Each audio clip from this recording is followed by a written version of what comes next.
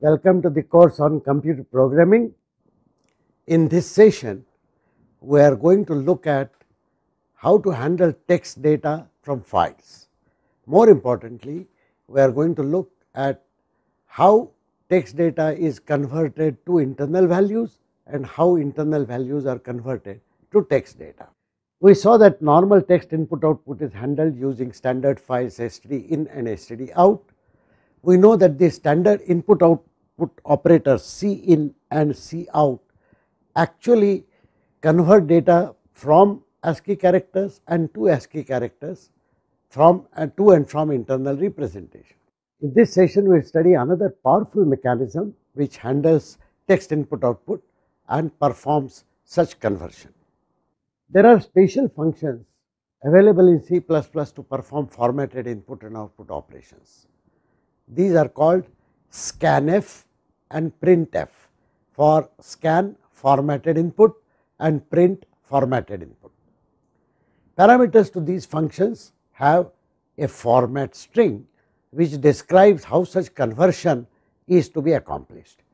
This format string is followed by variables or expressions which are to be read or which are to be printed.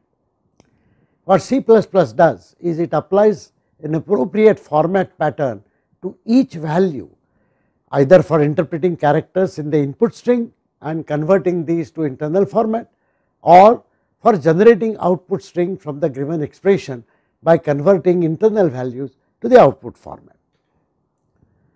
Here is the printf function example. Consider we have a declaration int roll equal to 1 2 3 4 5 and int batch equal to 1 1 2. Obviously, these numbers are stored in variables roll and batch in internal appropriate integer format.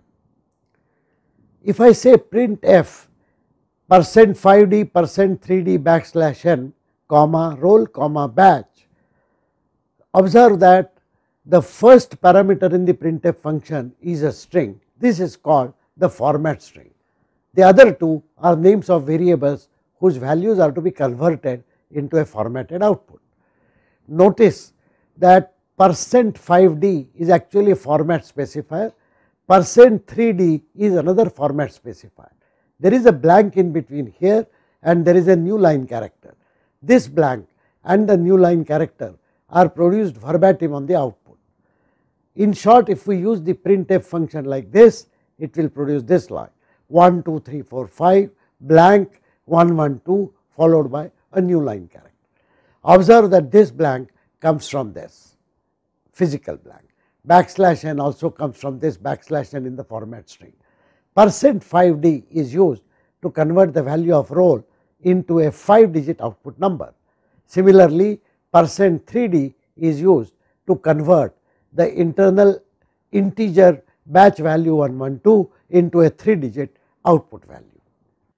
The general format of printf is as follows. It displays one or more values on the terminal. If the value of n for example is 523, this printf statement will produce 523 is a number.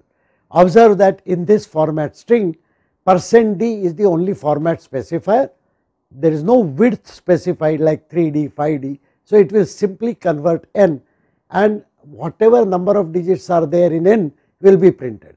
So, 523 is printed out followed by blank is a number backslash n all of these are not format specifiers. So, they are simply reproduced as they are. Of course, there is a new line character which is not shown here it will take the cursor to the next line. In short the format string has a format specifier all other characters are displayed as they are. Now the specifiers can appear anywhere, but each must correspond to a value appearing after the format string. In this example there is only one value appearing after the format string, so there is only one format specifier, but there could be more values here and more format specifier here. These are some examples of format specifier. Percent 6d will mean 6 digit integer, percent 7s will mean string which is to be fitted in 7 characters. Percent 8.2f will mean a floating point representation, but total of 8 digits 2 digits after decimal point. Percent 8.2g means the same thing, but if the number is very large or very small it will use an e notation if required. Here is an example of scanf. Scanf does the opposite conversion. It uses the format string to interpret values that are given on input and converts each of these values to corresponding internal format. For example, I have m and n as integer variables, x and y as floating point variables and a string name as a character array. Notice I have written here and m and n and x and y. The reason is that scanf is trying to get values inserted into these variables. I must obviously pass these variables by pointer reference otherwise these variables will not change when they come back from the function. It is very important to remember to use and m and n and x and y whenever we wish to get values for m and x and y.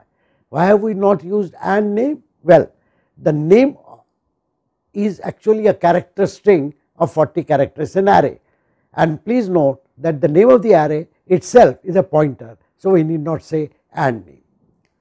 Now, if I give input in any one of these lines, it will correctly associate the same values to the variable. So, I can say 25 blank, 2 blanks may be minus 78, 1 blank, 0.00763, 1 blank, 345.29, 1 blank, my name is Chandra. You can see easily what are the values that we intend to give to these variables. Notice that C in would have accomplished the same thing, but scanf does it as per our format specification. Please note that the same format specification will work even if we give data like this. So far it appears very similar to Cin, but there is some special feature scanf which permits us to do things which we cannot do using Cin. Consider this example. I have an integer variable a, a floating point variable x and a character array item code.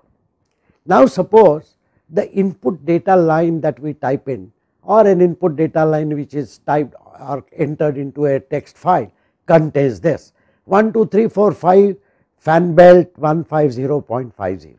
Notice there is no blank in between. If I use Cin to read these values it will all get confused because it cannot distinguish between three different values first an integer value then a character string and then a floating point value. However, Using scanf, I can prescribe a format string which says percent 6d percent 7s percent f. It means first 6 spaces are to be converted into an integer number. Next 7 characters are to be converted into a string and the remaining characters are to be converted into a floating point number. Notice the 3 variables are written as and a, item code and x. As usual item code being name of the array it itself is a pointer and we are appropriately putting pointer references in scanf so that the values so obtained by the function are actually inserted into our variables in the main program.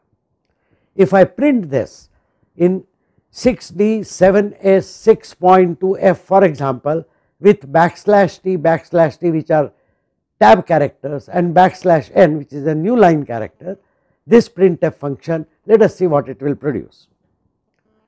Here is executing that program. So, this is the input line that I had given please note that it is a continuous line without any blank and my Cin operator would have completely failed to interpret the values correctly, but scanf does it properly and printf produces this output line. There are interesting versions of these functions which are extremely useful when I want to handle text data not from keyboard and I want to produce text output not on monitor, but I want let us say to convert a character string which contains such values into internal format or I want to produce an internal character string containing the output converted from some given values. There is a variation of these functions called sprintf and sscanf. sprintf for example produces the formatted output for all the expressions as per the format string, but instead of producing a line on the output it will actually produce a character string and assign it to s. Obviously S must be declared as a char array with appropriate size. Similarly, if I have a character string in my program in which let us say I have read a line of text from input file somewhere or I have created a formatted text inside S, then it is possible for me to interpret values inside that character string by using sscanf. Notice that I again give format string and the number of variables for which I wish to interpret the values. In this case the values will not come from std in, but the values will come from a string s.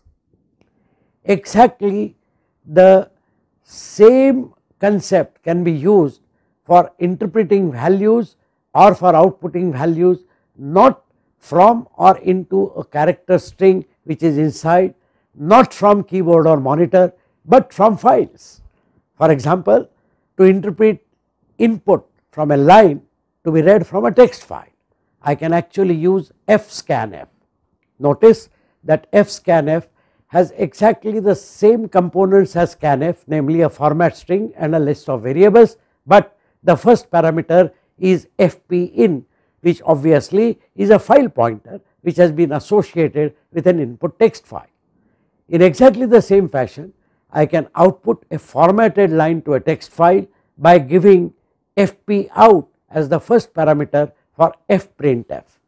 The rest of the specifications for fprintf are exactly like printf.